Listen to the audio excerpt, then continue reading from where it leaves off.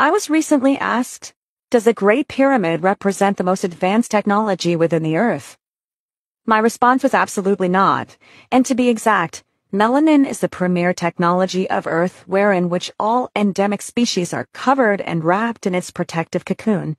They also get to enjoy the multitude of benefits given by the Earth's greater luminary without any side effects. It is noteworthy to mention that copper is one of the essential elements for the production of melanin.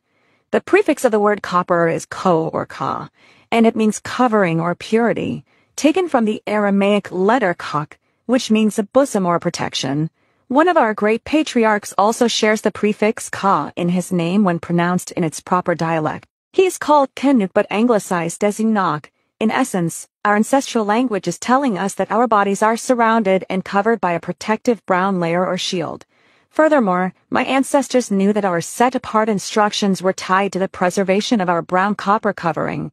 To the extent that Adam and Eve were warned not to disobey their instructions because they would lose their protective brown covering and become naked pale like the moon, followed by death.